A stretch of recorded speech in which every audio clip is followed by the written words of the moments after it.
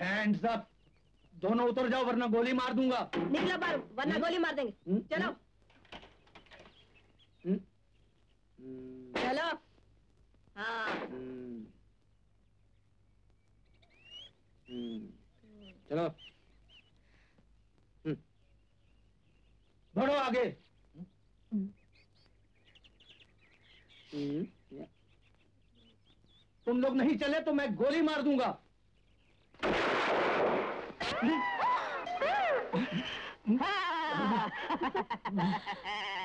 हिलना मत हम्म वरना गोली मार दूँगा हिलना तो दो, नहीं तो हम गोली मार देंगे ऐसे डबल टू बी अरे ये तो वही लोग हैं। अरे मारो पकड़ो। ये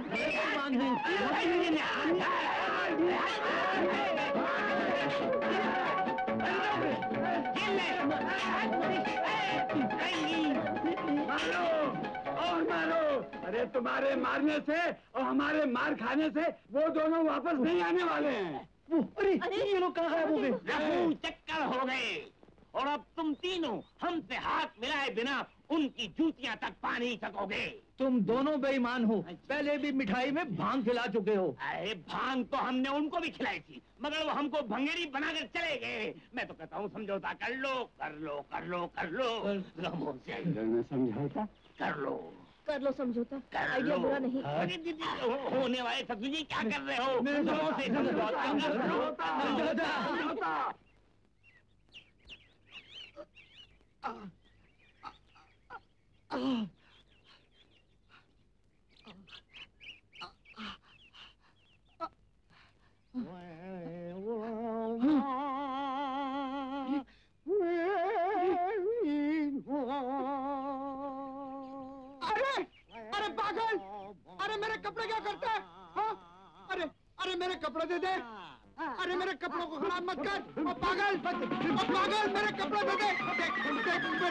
मेरे से मत कर मैं बहुत सता हूँ अरे मेरे कपड़े, अरे कोई है? अरे मदद करो। अरे मेरे कपड़े दे दे। अरे देख मैं भाग भी नहीं सकता देख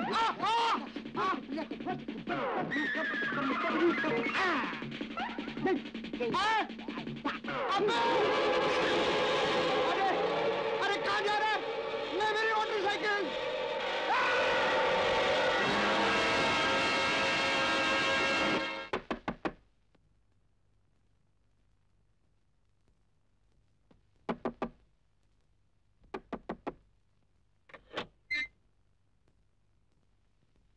बोले क्या हो रहा है? जब देखो फोटोग्राफी फोटोग्राफी। न सीना न परोना न खाना पकाना आखिरी सब है क्या? अंकल देखिए मैंने एक मर्डर एक्सपोज किया है। मर्डर हाँ देखिए देखिए।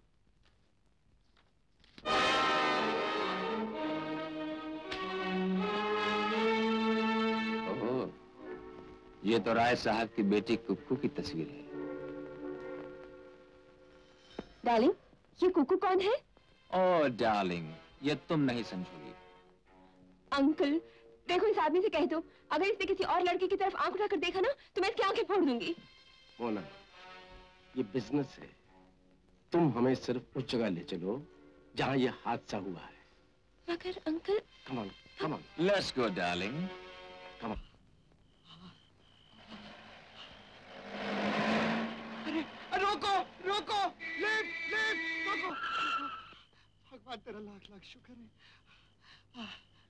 इसे मत छूना ये भूत है। नहीं मैं भूत नहीं हूँ मैं मैं हूँ मैं। नहीं ये भूत है। मैंने तो इसे मरा हुआ देखा है। अरे मरने वाला कोई पागल था उसने मेरे कपड़े पहने थे।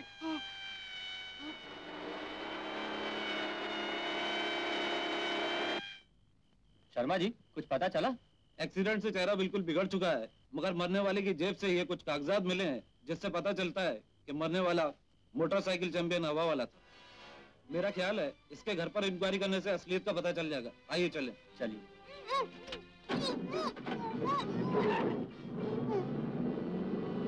समझे मामा? समझ गया भांजे। जो काम कुक्कू अधूरा छोड़ गई थी उसे हम पूरा करेंगे।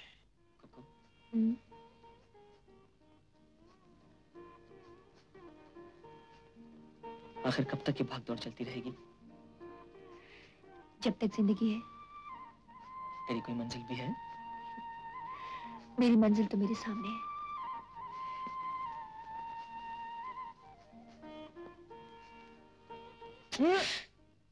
तुम मर्द लोग बड़े खराब हो। तुम लोगों को उंगली पकड़ने को दो तो पहुँचा पकड़ लेते हो। लेकिन क्या हुआ क्या? अगर कोई देख लेता तो? तो उसमें क्या होता?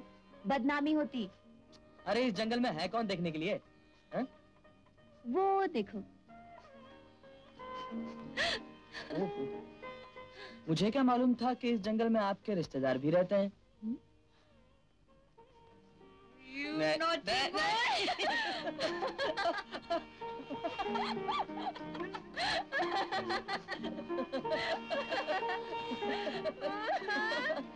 अरे, अरे, अरे, अगर गिर जाती तो? मुझे संभालने वाले पर विश्वास है। रात के बारे में क्या ख्याल है तुम्हारा? रात के बारे में? हाँ मतलब रात ना गुजारेंगे? प्रॉब्लम हम्म, आइडिया हाँ? यहाँ पास ही में मेरे डैडी का बंगला है। वहाँ कोई नहीं रहता। वेरी गुड आइडिया बस आज हम रात वहीं गुजारेंगे। अलग अलग जी नहीं एक साथ। आइडिया ससुर जी होने वाले। अरे होने वाले ससुर जी यहाँ से कुछ दूर पर। राय साहब का फार्म है। हो ना हो बेबी वहीं गई होगी। अबे बेवकूफ़ तो इसमें चिल्लाने की क्या बात थी? यही बात धीरे से मेरे कान में कह दिया होता। फिर चालाकी करने की कोशिश की? इस बार धोखा दिया तो याद रखना। आप बात बात में बंदूक क्यों तान लेते मैंने तो इसलिए कहा था कि पेड़ पौधों को भी कान होते हैं।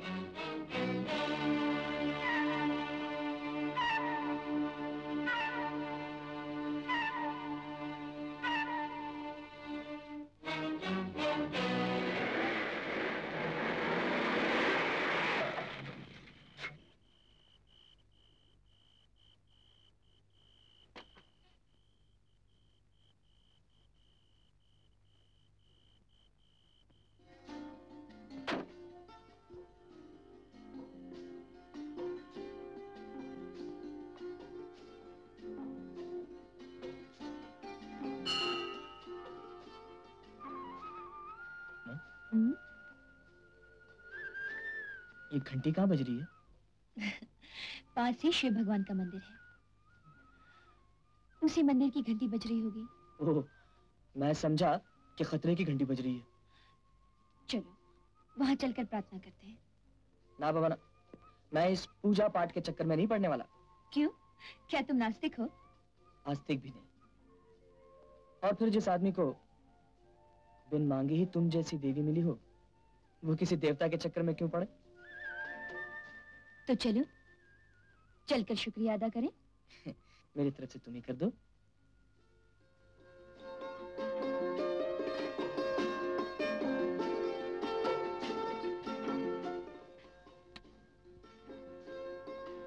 जानते हो मैंने तुम्हारा माथा क्यों चुमा? इसलिए कि मैं तुम्हारी तकदीर बनना चाहती हूँ।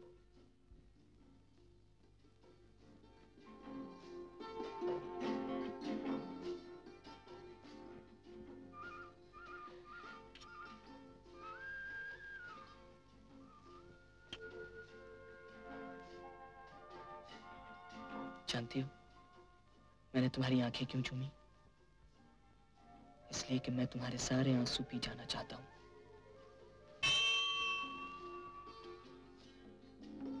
घंटी बुला रही है? तुम जल्दी जाओ और फ़ौरन वापस चले आओ। तुम पाँच मिनट ठहरो। मैं एक घंटे में आती हूँ?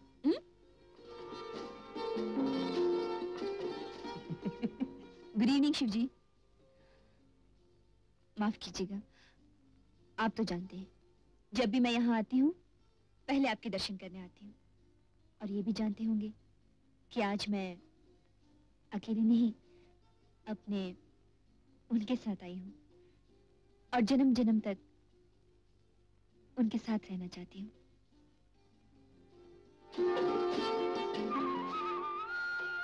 Thank you Shiv ji thank you very much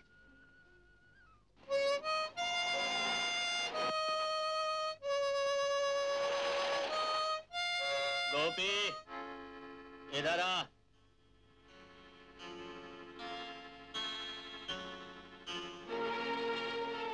मुझे तेरी ही तलाश थी। क्यों? ले ये खत पढ़ ले सब पता चल जाएगा।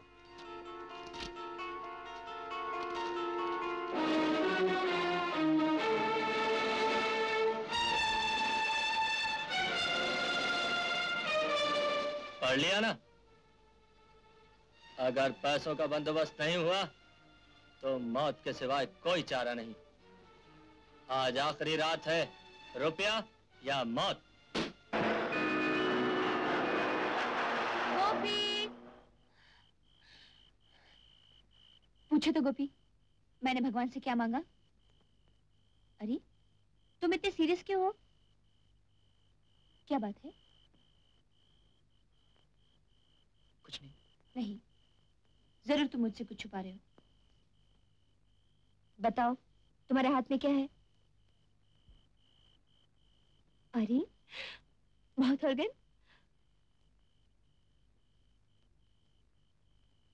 गोपी तुम कुछ बदले बदले से लग रहे हो। मैं नहीं बदला। हालात बदल गए हैं। हालात तो उस दिन बदलेंगे। जिस दिन हमारे सपने सच होंगे, हर तरफ़ रोशनियाँ जगमगा रही होंगी। दूर दूर तक शहनाइयों की आवाज़ गूंज रही होगी। तुम और मैं मैं और तुम, नहीं बताऊँगी। हरगिज नहीं बताऊँगी।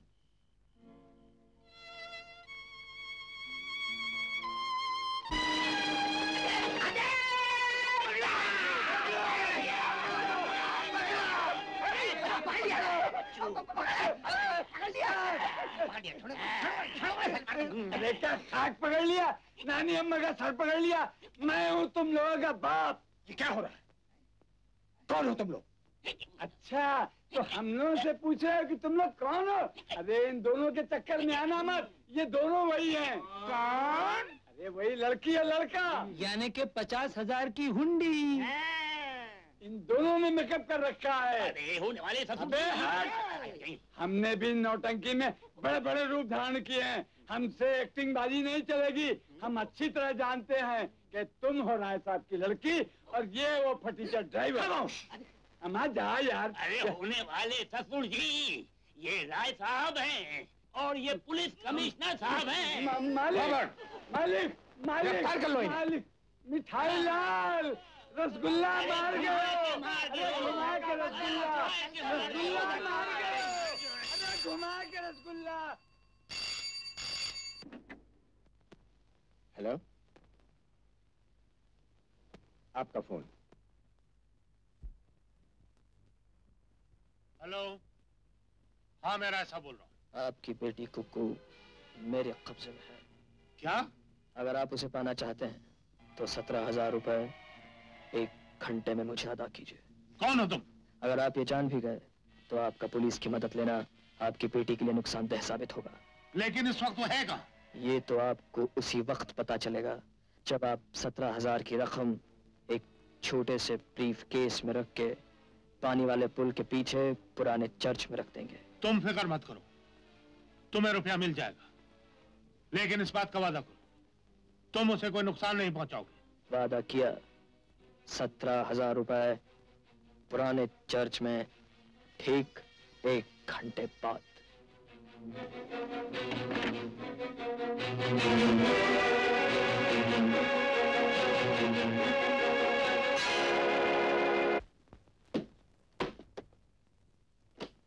नहीं सवाल सिर्फ़ मेरी बेटी की ज़िंदगी का नहीं मेरी इज़्ज़त का भी। याद है मैंने तुमसे कहा था तुम एक पुलिस कमिश्नर नहीं एक दोस्त बनकर मेरी मदद करोगे। हाँ मुझे दोस्त बनाकर ही साथ ले चलिए। हरगिज नहीं। मैं अकेला ही जाऊँगा। नहीं आप कानून का मज़ाक उड़ा रहे हैं। मैं कुछ नहीं जानता। मैं जा रहा हूँ और मेरे लौटने तक तुम यहीं ठहरोगे। ए कहाँ जा रहा है? बोलना कहा जा रहा है? मैं जानती हूँ तू कहाँ जा रहा है? तू सौदा करने जा रहा है है ना? कल तूने अपना स्वेटर बेचकर मुझे रोटी खिलाई थी ना? आज शायद किसी और चीज़ का सौदा करने जा रहा है।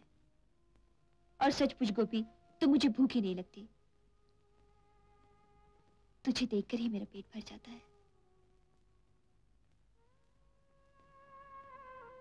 सच कहा था तूने, अगर एक बार इंसान को ज़िंदगी में प्यार हो जाए तो बस फिर खल्लास ज़िंदगी बरसात नहीं छोड़ता। और फिर तेरे साथ तो मैंने ज़िंदगी को जीना सीखा है। तेरे ही साथ मरने की तमन्ना भी है। इतना विश्वास मत करो मुझ पे।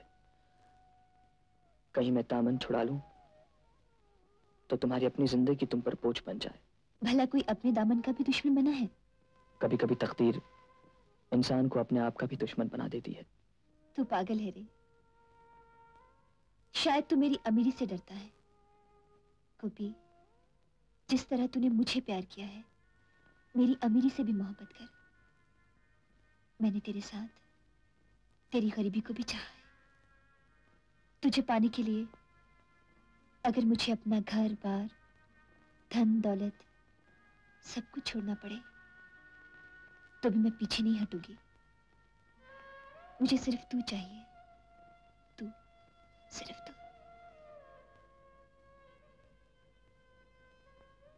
आप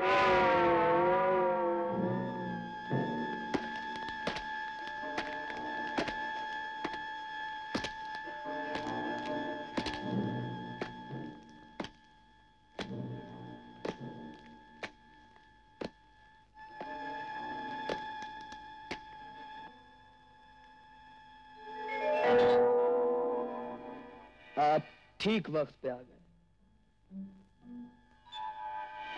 उम्मीद है आप खाली हाथ नहीं आए होंगे।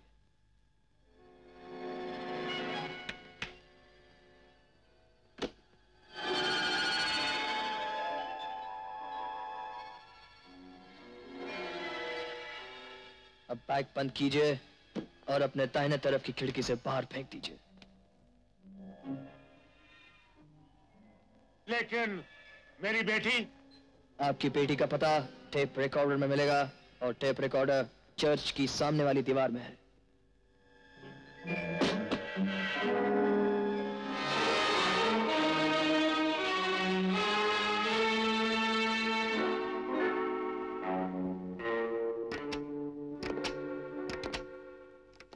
आपकी बेटी कुकू चर्च के पीछे पुराने रेलवे यार्ड में बोगी नंबर 1270 में मिल जाएगी। बोगी नंबर 1270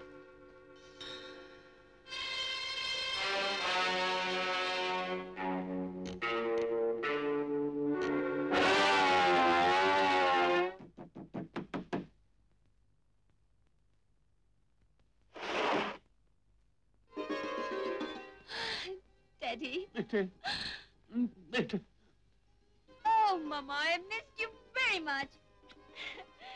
Daddy आपने तो खामा खाने की तकलीफ़ की। मैं तो खुद ही एक दो दिनों में आने वाली थी। शाबाश है बेटी। कहते ऐसे रही है जैसे भाग कर नहीं पिकनिक मनाने गई थी। ऑफ़ कोर्स कौन कहता है मैं भाग कर गई थी? डैडी मैं भाग कर गई थी क्या?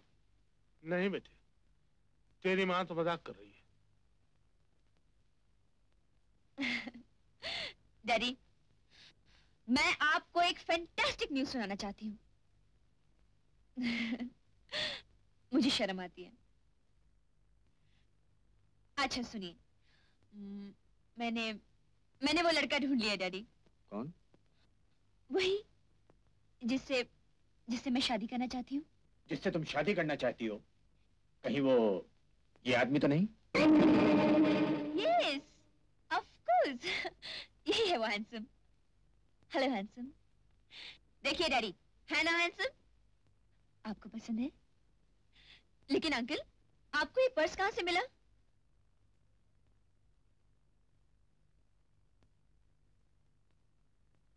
टेप रिकॉर्डर के पास।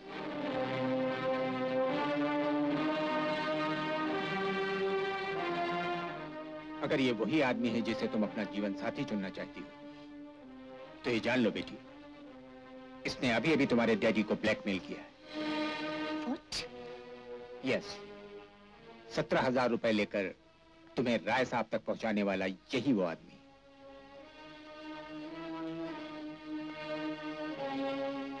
डैडी क्या ये सच है? बोले ना डैडी क्या ये सच है? ये गलत भी नहीं।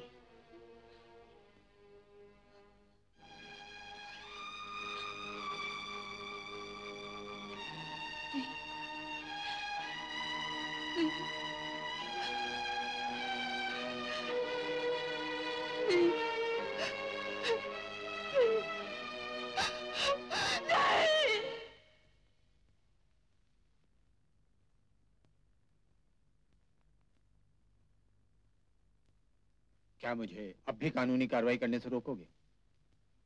हाँ। मैं इस बात को यहीं खत्म कर देना चाहता हूँ।